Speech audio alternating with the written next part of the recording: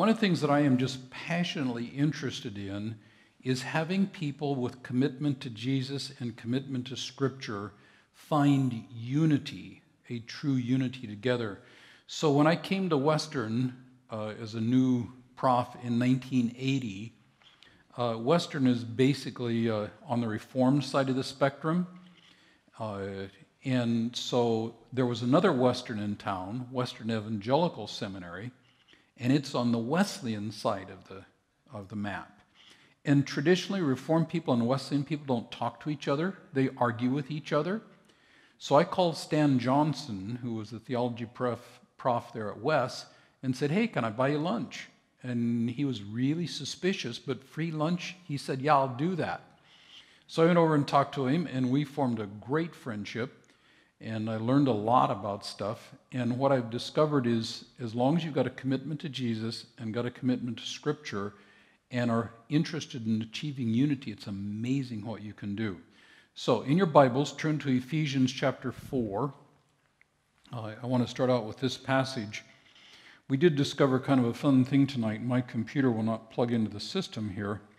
So I'm using Zach's computer here, and I really, it's, a, it's one of those Buddhist computers you know, one of those Mac things. What do you mean, oh? What are you talking about? Just tell me Steve Jobs is not a Buddhist. Well, he's not anymore. He was, yeah. yeah. So, and note what I have here a Buddhist iPad. Ephesians chapter 4, uh, Paul is transitioning from the more doctrine side to the more life side, that those two are not disconnected. Uh, as a prisoner for the Lord, then, I urge you to live a life worthy of the calling which you have received. And here's a key be completely humble and gentle, be patient, bearing with one another in love. And then this is kind of my theme verse for tonight make every effort to keep the unity of the Spirit through the bond of peace. And then he goes on there's one body, one spirit, just as you were called in one hope when you were called one Lord, one faith, one baptism, one God and Father of all, who is over all and through all and in all. And he, yeah, amen. Uh, and he goes from there. And that's what I want to think about tonight uh, the, the importance of doctrine and how to achieve unity as Christians within this basic idea of a, of a doctrine and a commitment with that. So, what I want to do tonight is I want to give you kind of a framework to think about how to achieve unity. Uh, and then I want us to just have conversation. I mean, I've got plenty to say, but I hate lecturing. So, Ezra, I love you. That's great. Yeah, good thing. Uh, in this, uh, in this thing together, what I want to do here is think of four levels of essentiality. So, when I essentiality, I don't know, four levels of certainty or something like that. And when I think of these four, what helps me a lot is uh, there, uh, the way my friend Driscoll puts it, he said there are some closed hand issues. There are some open hand issues, or sometimes you talk about there are national borders versus state borders. State borders, you go right and forth, back across, but there is a border there national borders, you got to show your passport and that kind of stuff. I think we can drill down just a little bit further than that. So let me give you what I'm thinking about here, and then we'll talk about it. First of all, when I think about this, there, there are the die for issues. And what we mean when we say die for is that these are the biblical essentials. When we think about die for issues, these are the things like the inspiration and authority of Scripture. That would be one example. And I want to unpack with you what are some other things that would fit in these different areas. And these things are what the Bible clearly teaches as essential. And inspiration and authority of Scripture would be one of those, uh, where 2, uh, 2 Timothy chapter 3 talks about all Scripture, all the writings are inspired of God, theopneustia, and are useful for doctrine, for reproof, for correction, for training in righteousness. And for somebody who doesn't believe in inspiration and authority of Scripture, we don't, we, there's really can be no unity at that point. If you think the Bible is just a human book of a 2,000 year old book of religious wisdom, uh, You know, well, really, what I would suggest at that point is to deny these things knowingly would be to deny Christ. And which is to say that in a real sense, if you really, knowing what you're doing, deny these things, you can't call yourself a Christian. Now, an example of that, and a, a controversial issue, would be Mormons. Is the Church of Jesus Christ of Latter day Saint, do they deserve the title Christian? Now, we're not talking about they're nice people. We're not talking about there are a lot of Mormons who are worshipers of Jesus. That's certainly true. But the church as it teaches, the official teaching of the LDS church, can they deserve the term Christian? Well, do they believe the inspiration and authority of Scripture as we have it today? And what's the answer? They don't. What do they believe about the Scripture we have today by their own teaching? What do they say? They say it's corrupted. The Bible that we have today is not the Word of God. Uh, and just while we're at it here, do, does the Church of Jesus Christ of Latter day Saints believe in the deity of Jesus, the one who was born at Bethlehem and died at Calvary? Do they believe in the deity of Jesus? Shall I take a vote? what do they believe about Jesus? Do you know? He was the son of Elohim. He's the son of Elohim. He's the brother of Satan and the brother of who else? All human beings. There is no qualitative difference between the one who's incarnate as Jesus and me. We're all exactly at the same level, human spirits, son of Mother God and Father God. And so, do they believe that Jesus from Bethlehem to Calvary was God with us? And the answer is no. No, by their own teaching. Now, what they do believe is that he is on the track toward deity and he'll be God of his own world in the next cycle, but he's not God in this world. Pardon? Uh, probably not us. Yeah. Uh, in fact, I'm pre- I've been told by a fairly high level LDS fellow that I am a son of perdition my, the one who's incarnate in this body rebelled with Satan back in the day. And uh, I don't know how he knew that except that I wasn't on his team. Uh, but it's, uh, see, that's a place where when you ask who is a Christian, and I think of the official teaching of the LDS Church, and again, I'm not talking about individual Mormons. There are a lot of individual Mormons who are just simple worshipers Jesus who like the community, and they just don't buy into some of the teaching of the church. But the church as an organization does not believe in the deity of Jesus. Do they believe in, uh, can they say the Apostles' Creed, which begins with, I believe in God the Father, maker, oh, I believe in God the Father Almighty, maker of heaven and earth. Can they say that? And the answer is no, they can't. Who is the God of this world? Well, he was a human in the previous cycle, and he is not the creator of heaven and earth. He may have been on a committee that created this planet. He's a Presbyterian? no, no, I don't think that's quite the answer to it. Yeah. But see, the thing of it is, I, what I'm saying here is this is, is a die for. If you deny these kinds of things, you have excluded yourself from the fellowship of Jesus Christ, I would say. Uh, and they would say the same thing about me. Uh, so that's what we're thinking about when we think of a die for type thing. Okay, questions, comments, because you're you get a chance to be real interactive in this. Questions about die fors? We're going to put some names on these here in just a little bit. So be thinking about what you think should fit here. Cult. Cult? What do you mean by cult? There's lots of cults out there. Yes. That, uh, you know, take the Bible and pervert it. That's correct. And some of the cults uh, would, they're what we call Christian cults. They're like discipleship groups, they're hyper disciple groups and things like that. Their doctrine would be fine, but their practice goes against uh, wisdom and such. But there are many others, of course, that take certain themes of Scripture and distort them. Uh, Jehovah's Witnesses, for example, would say the one incarnate in Jesus is Michael, the first, the archangel, and not divine, though very great. So, yeah, there are a lot of cults. Okay, so that's the first level. die for. Uh, second level, uh, these names come from my friend Steve Walker, are the divide for things. And the divide fors are issues so central that we can't be in the same fellowship. Uh, we agree that uh, we're Christians. We agree that when we die, we're going to be with Jesus. Uh, we can participate together in certain kinds of things, but when it comes to being in the same church, we just can't get along well enough on these. And an example of this, a historic place of differentiation, are the sacraments. If you know your church history, you know that John Calvin and Martin Luther split over the meaning of the Eucharist. They had other differences and they could get along with those, but their fundamental difference in understanding of real presence in, uh, just they couldn't work together. So, can somebody explain to me what a, a Catholic view of Eucharist is?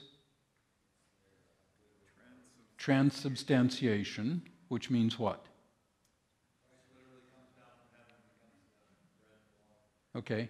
If I take a piece of bread from the Eucharist and take it to a chemist and said, Tell me what this is, this is a consecrated piece of Roman Catholic bread from the Eucharist, and I took it to a chemist and said, What is this? What would they say? They would say, It's just bread. But the priest tells me it's body of Christ. It's literally the body of Jesus. How can that be? Well, the Roman Catholic answer is the essence or substance is flesh of Jesus, but the attributes are bread. Same way for the wine. The essence is blood of Christ, but the attributes are, are just wine. So if you taste it or take it to a chemist, it's bread and wine, but the essence has changed. Luther said nonsense. That it's just that's just bread. What Luther said is in that piece of bread, Christ is concentratedly present. So if I take that piece of bread, Jesus is everywhere, but in that piece of bread, he is very, very concentratedly present. Calvin said, hogwash, that's just bread for crying out loud. There's nothing special about that. Christ is present in the service by the power of the Holy Spirit. And Calvin and Luther, Calvin said, that's just bread. And he said, No, no, that is, Jesus said, This is my body. And they had such a falling out that they split over that central issue. Uh, and uh, it went from there. Uh, so here we affirm our unity as Christians, uh, and we think of Saul and Barnabas who split over what? Well, what was the doctrine thing they split over?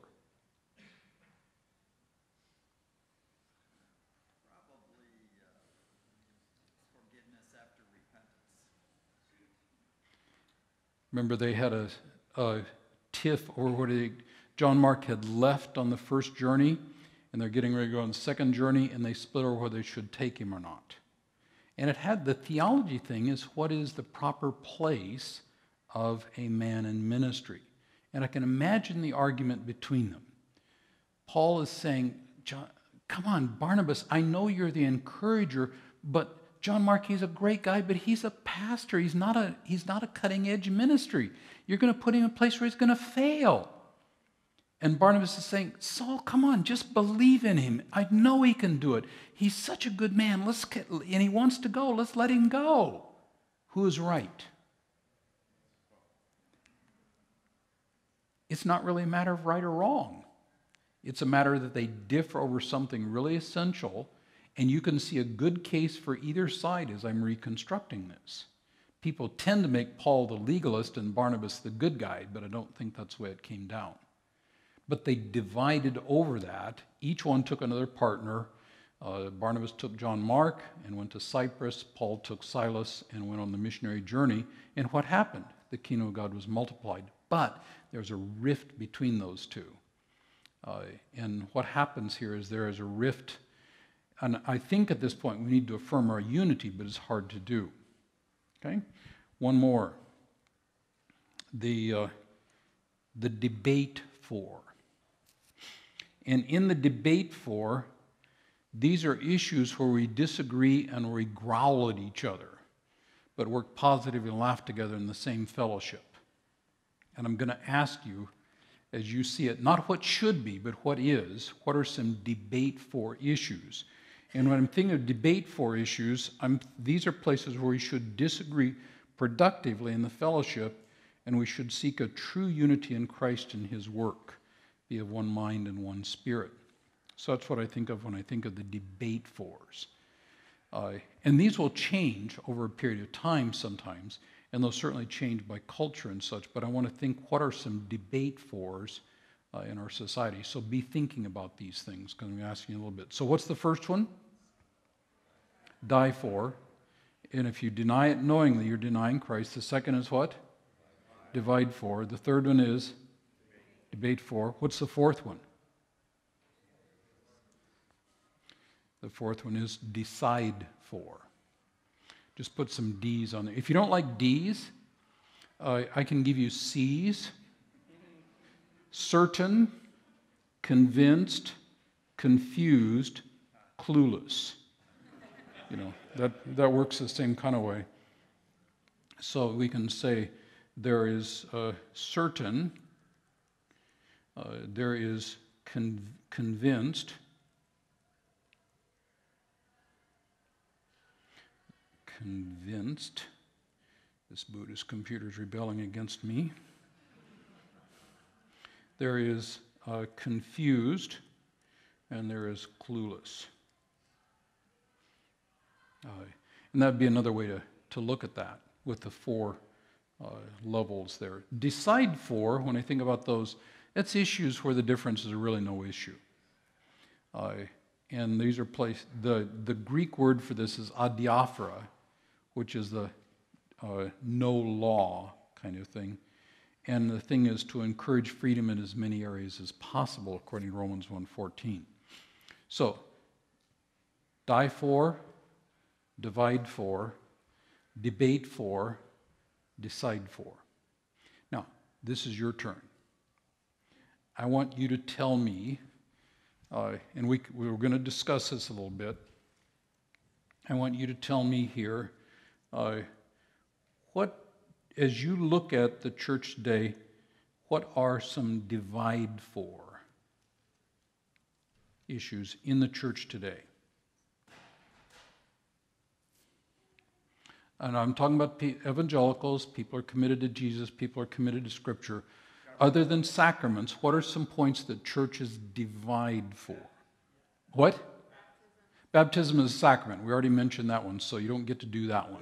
Yeah, you're right. Baptism is a historic place of division. Without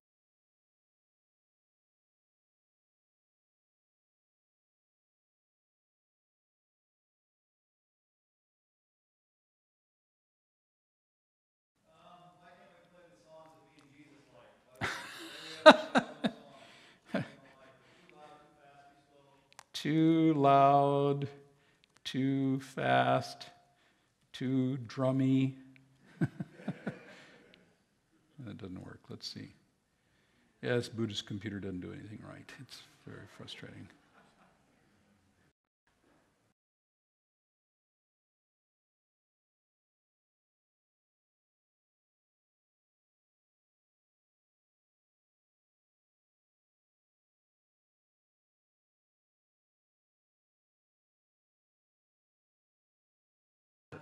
Tell me a little bit more.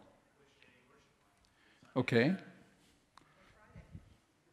Or Friday?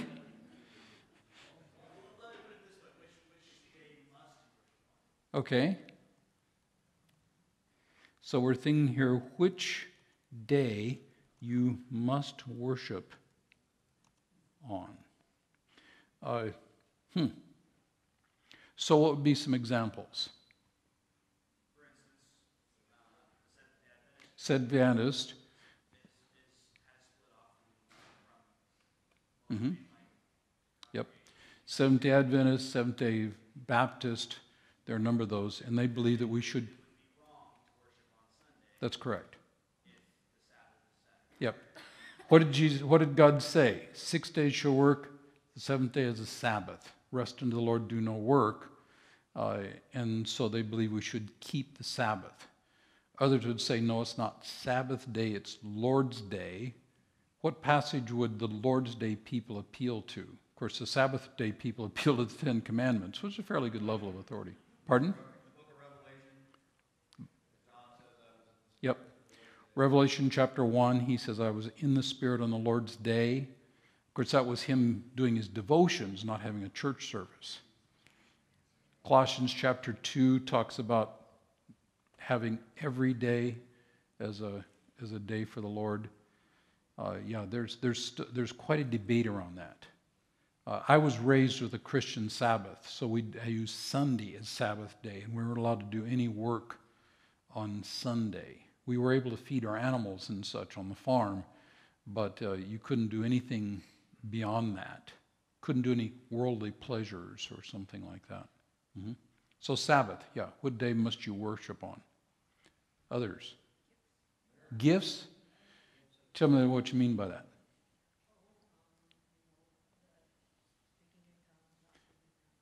Nobody speaks in tongues anymore, do they? okay. Uh, the, the issue of, uh, I'm going to get a little more specific on this. The uh, issue of cessationism and continuation. And the key difference here, the place where the biggest difference is, and the most significant difference in this area, is we all evangelicals believe that God speaks in Scripture today. Nobody, no evangelicals are going to debate that. No biblical Christian is going to debate.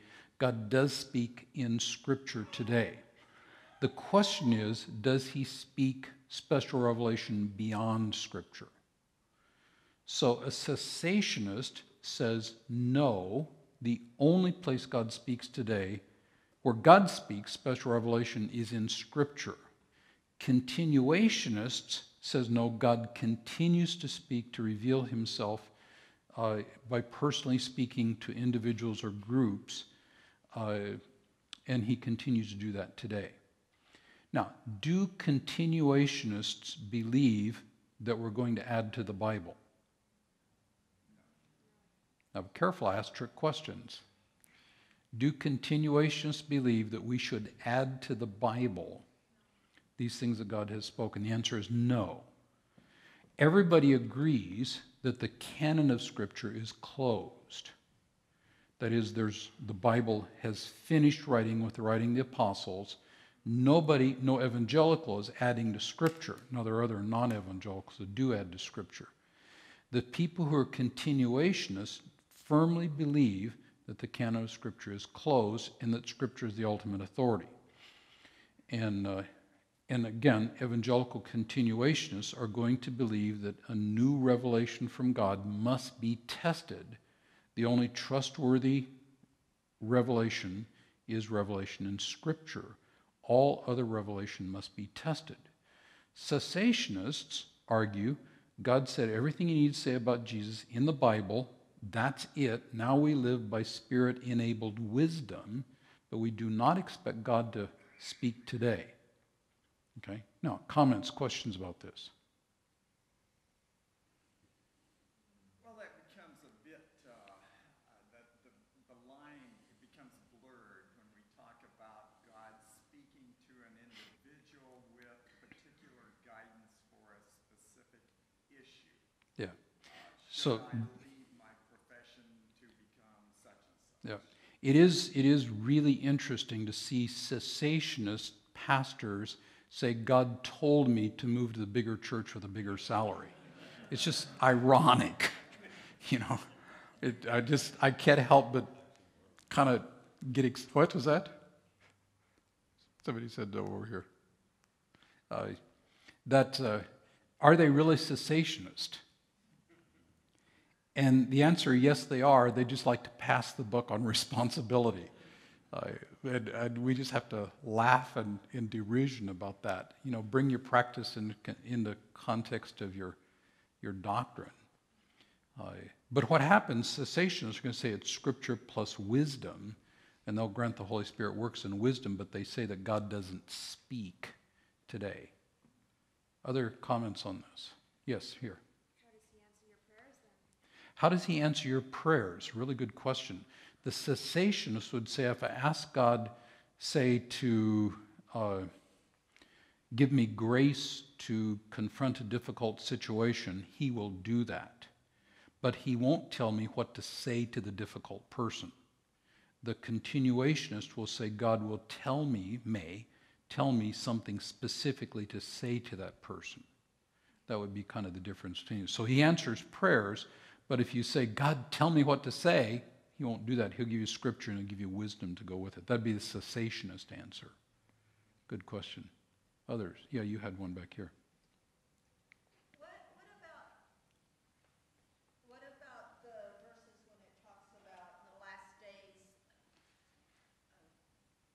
there should be dreams and Uh, young men will, That's, that's Acts chapter 2. Uh, the thing you're quoting there, it's quoting from Joel, and it's quoted in Acts chapter 2. And what they would say is during the time of, this is cessationist, uh, would say that is during the apostolic period, and in those days that would happen, but that has ceased. Now that we have scripture, we don't need that anymore. That would be the cessationist argument.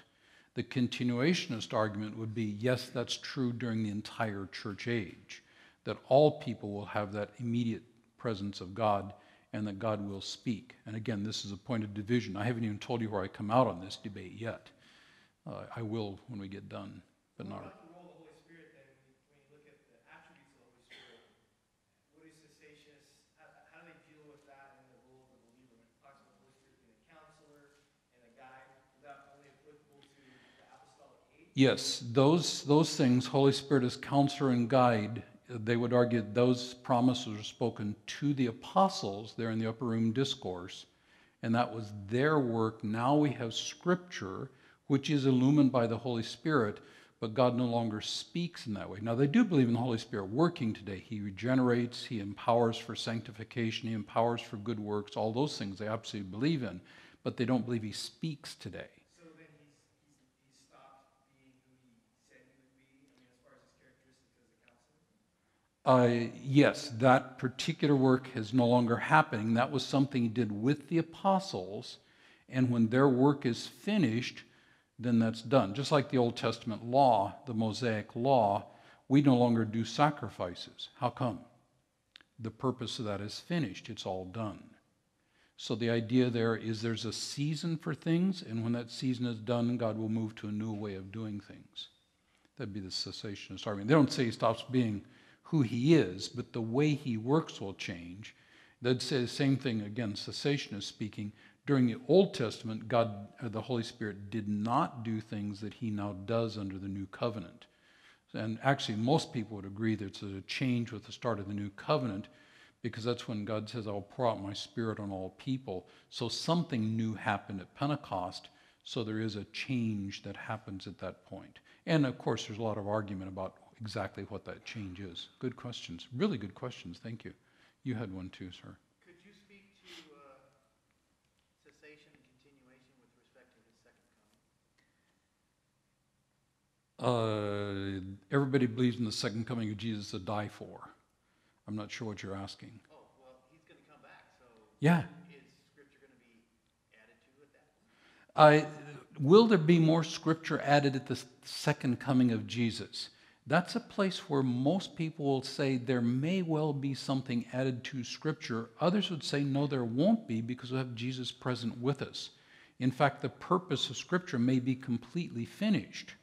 If you remember the 1 Corinthians 13 passage, there will be a day when uh, prophecy and tongues and knowledge will be ceased because we will see him face to face. And many people will say, well, that when Jesus is with us, then we won't need the Bible anymore because Jesus will be right here. So a lot of people are going to say the Bible will cease its purpose and we just put it back on the shelf and just go directly to Jesus. Now, again, not everybody would agree with that, but many would. Mhm. Okay? Is there another die for or another divide for we want to put up here? I mean, there. Historically, many of the churches have divided over style of government. Okay, style of government, yep. So let's just call that, in a general sense, uh, church polity. What would be a couple of polity issues? I don't want to spend a lot of time on this one, but like what? Oh, now that's a whole different one. Say that again. Homosexuality and abortion. Everybody agrees on those.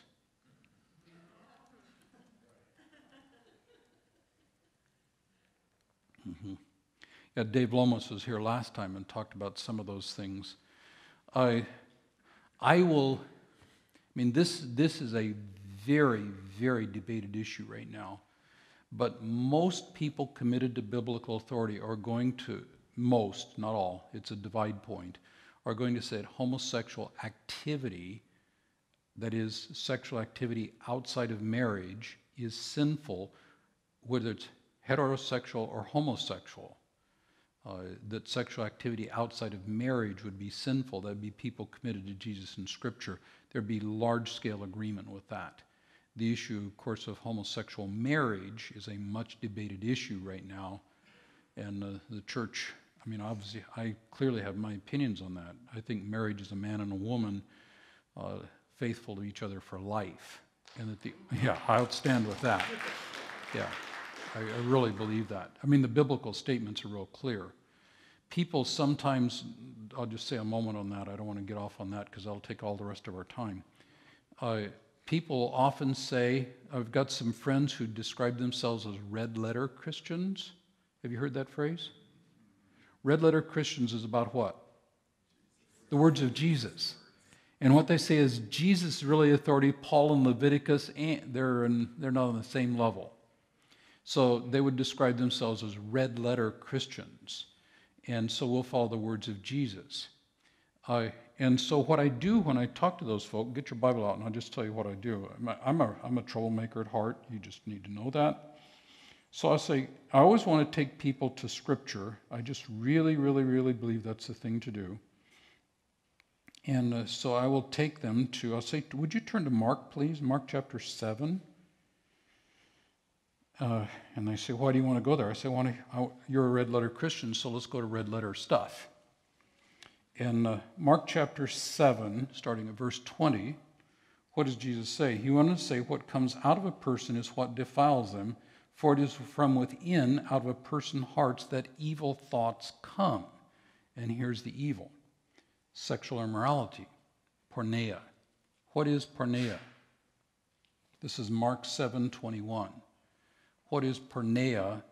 Remember, Jesus is speaking in a Jewish context. Porneia would be anything that would go against the sexual law of marriage, one man, one woman. And so here Jesus is defining, he is saying it's evil for porneia, and porneia is any sexual activity outside of marriage. Okay? Where was that? Mark 7 21. And then say, okay, let's look at one more passage. Go to Matthew chapter 19. Matthew chapter 19. Uh, the Pharisees come and says, the law for a man to divorce his wife for any and every reason. This is Matthew 19. Haven't you read that at the beginning the Creator made them male and female? For this reason, a man will leave his father and mother, be united to his wife, and the two shall become one flesh. How is Jesus defining marriage? One man, one woman, husband and wife for life. And what he's saying in Mark 7 is any sexual activity outside of marriage would be evil. And what he's saying here is that marriage is one man and one woman. So, yeah, okay, I'll be a red letter Christian. It doesn't have a different morality than anywhere else in Scripture, I will argue. And, and I'll do that. Now, the other thing, and I'll, I'll say one more thing and I'll quit. We must, must, must, must, must make a differentiation between sexual activity and sexual attraction. Uh, sexual attraction, lustfulness, is a sinful thing, but there's a difference between sexual attraction and sexual activity. Virtually all of us have warped sexual attraction of one sort or another. And what God says is shepherd that sexual attraction in biblical ways. So for me, that means to take my sexual attractions and focus them on my pretty wife, Sherry. and, uh, and that's his command to me.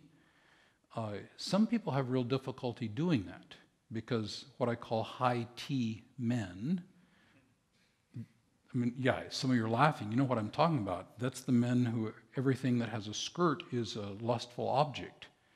And what that is, if you start fantasizing or encouraging that kind of attraction, that's sin. But the fact that I have those attractions by itself is not sin. I mean, any more than anything else, because we all got sin type stuff.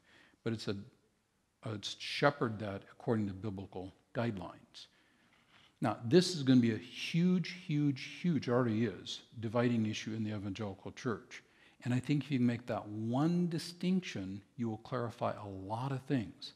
The difference between sexual activity, which anything outside of marriage is sin, and sexual attraction, which says we shepherded according to biblical standards. Could somebody who had same sex attraction become a pastor of a church? A lot of debate. My answer is yes, absolutely. I know a couple of really, really good pastors uh, in good, solid evangelical churches who wrestle with same sex attraction. And I know some, a lot of pastors who wrestle with opposite sex attraction but they shepherded according to biblical standards, and they're very, very effective pastors. So make that distinction between sexual activity and sexual attraction, and you'll get rid of a lot of the problems. Because uh, we, can, we can absolutely shepherd our activity, and we can do a lot with our attractions by the power of the Holy Spirit, and, the, and so it's a good thing. I'm way off topic. What are, you guys are bad for me. Uh, divide for. Okay, let's think now. Uh, what are some, what's the next one? What's the next one? Debate for. So, debate for. What would be some debate for things? Prophecy. Prophecy is a cessation continuation. Alcohol. Alcohol? Why would you put that up there? Some people say it's okay to drink, some people say that's a touch wine and then a deaf line. And they can be in the same fellowship? It's debatable.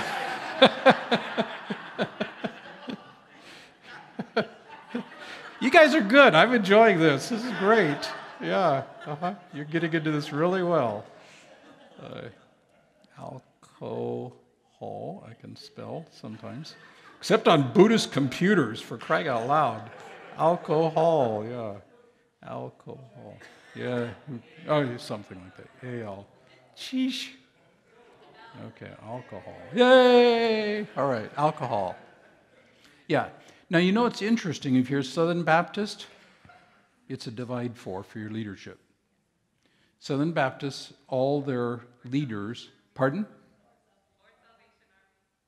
Or Salvation Army. Okay, I don't mean just, uh, but it's it, you are as a leader uh, you sign a covenant that says you will not partake in alcoholic beverages as a Southern Baptist or Southern Army, uh, Salvation Army. Uh, when I was teaching at Biola, uh, we had a lifestyle agreement there uh, that said that I would not partake in alcoholic beverages or dancing or something like that. And what are you laughing about? Yeah, I mean, it's really funny. When I came to Western in 1980, uh, we have no lifestyle agreement like that. But it was kind of, you know, it, you're probably more spiritual if you don't drink alcohol, and dancing is, eh, I don't know. Now our singles, they go wine tasting down the valley and come back and do swing dancing in the evening. We've had it at the seminary. It's just some of these things change. Uh, but alcohol is absolutely debate for. But in some cases, that's a divide for.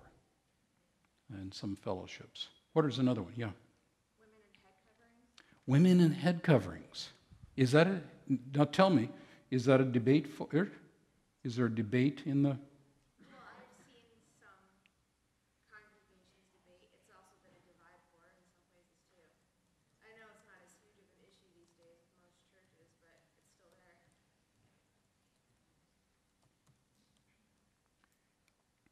How about women and leadership?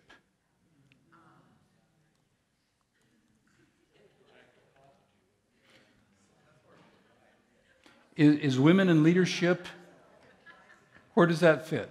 Divide for, debate for, decide for? All of them? Where would you say it fits? Women in leadership? I have to ask your wife. yeah. yeah, that's good. Yeah. I, you know, this is the women in leadership. I was at a Evangelical Theological Society meeting in 1986 or 85 maybe in Atlanta, and we had the Battle of the Lexica. Uh, we had Wayne Grudem and his lexicons. We had Kathy Kroeger and her lexicons.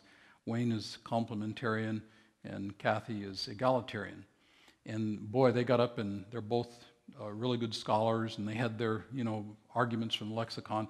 And we got done with that, I said, "Okay, been there, done that. We can move on to something more important. I have never made a wronger prophecy in my life. It's still a huge, huge divide for in the church." in particular fellowships, you'll have people on perhaps on both uh, on the different sides in women in leadership. Uh, but what will happen is the church, as a church, has to decide what role women will have in leadership. And again, there's not just one position.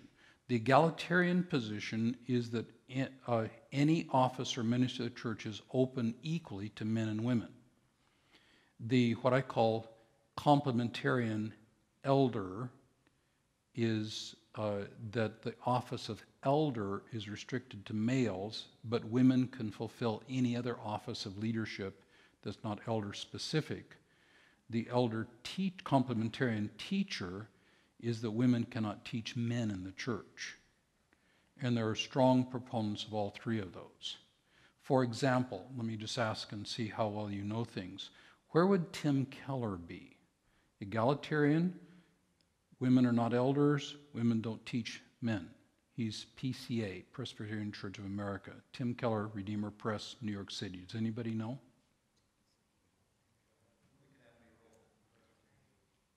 Yeah, can we ask some Presbyterians here? Uh, the PCA denomination is women don't teach men. Tim Keller is women can do anything but be elders. So he's actually in differentiation with his own denomination at that point. Uh, where would Mark Driscoll be, my co author? Egalitarian, women are not elders, women don't teach men. Where would Mark be? He's women are not elders. He started out as women don't teach men. I rubbed his nose in the Bible and he changed to my position. That's actually true. Uh, that's one of the places where I did have influence on Mark as he dug in deeper, because he began as Women Don't Teach Men. But he got to looking at Scripture, Acts 18, for example, where Priscilla and Aquila take Apollos and te- correct his doctrine, and that's presented in a positive context. You realize, well, here's a woman teaching a man doctrine. You can say, well, it's not public. Yeah, but see, teaching a man is not just a public thing, it's a teaching thing. So Mark has come to the spot where uh, women are not elders, but women can do other leadership roles in the church. And that's an evolving kind of thing.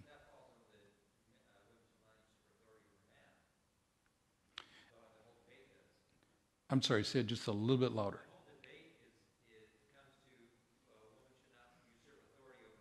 Right.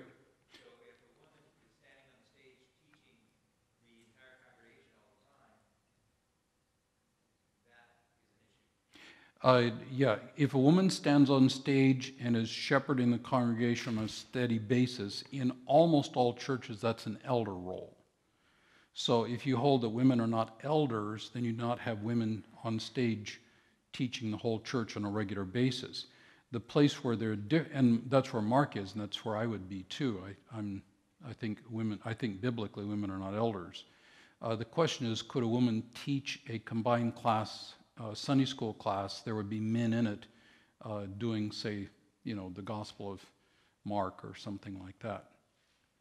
And that's where the differentiation comes. I think that a woman could do that because I don't think that's an elder specific job. Uh, if you say that women shouldn't teach men, then they can't do that.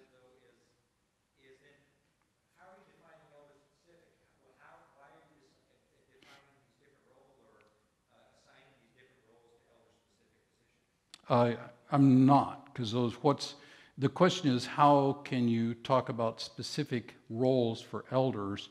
Local churches make those definitions. The basic role of an elder is to guide and guard the doctrine and life of the church. And it's a team of people. I mean, this is fairly standard definition of elder. Elder is the team of people, I would say men, who guide and guard the life and teaching of the church. Exactly how that works out, Scripture doesn't say, but that's the role that they have. And then under the elders, you have deacons and you have members.